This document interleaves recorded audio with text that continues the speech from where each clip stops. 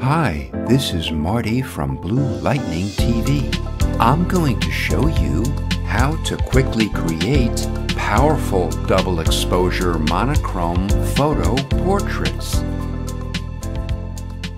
Open two photos you'd like to use for this project. I downloaded these from Shutterstock. The first step is to separate our subject from its background.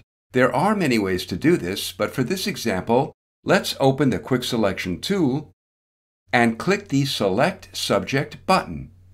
This automatically selects our subject. If it missed any areas, just drag the tool over them. Conversely, if it selected areas you don't want selected, press and hold Alt or Option as you drag over those areas.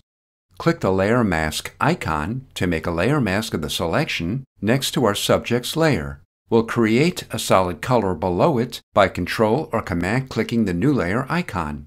For now, let's fill it with white, but before we do, let's check our foreground and background colors. If they aren't black and white, press D on your keyboard. If they are reversed, press X. To fill our empty layer with the background color, press Ctrl or Command plus Delete.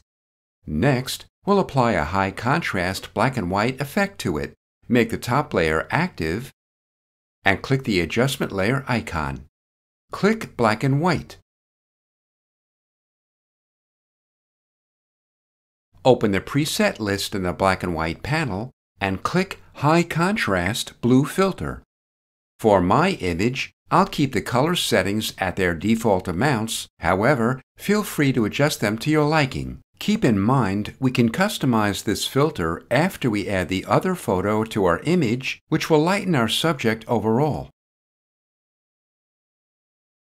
Open your second photo. To place it onto your subject, make sure your Move tool is active and drag it onto the tab of the subject. Without releasing your mouse or pen, drag it down and release. Change its blend mode to screen click the adjustment layer icon and click black and white. Make the second photo active. To adjust its size and position, open your Transform tool by pressing Ctrl or Command T. If the Transform's bounding box is outside your visible canvas, press Ctrl or Command 0.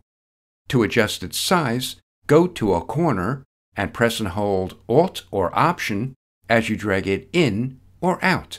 If you'd like to rotate it, move your cursor, and when you see a curved double arrow, rotate it clockwise or counterclockwise. To position it, just drag it. Then press Enter or Return. To fit it back onto your canvas, press Ctrl or Command 0. If you'd like to reveal back some areas of your subject, Click the Layer Mask icon to make a layer mask next to the second photo. Open your Brush tool and Brush Picker. Pick a soft, round brush. We'll adjust its size in a moment. Its hardness is 0%, and for now, I'll make its opacity and flow 100%. To adjust the size of the brush, make sure your caps lock key is off and press the right or left bracket key on your keyboard brush over areas of your subject that you'd like to reveal back. Feel free to adjust the opacity of the brush as well.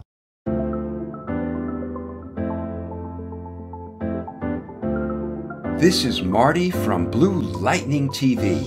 Thanks for watching.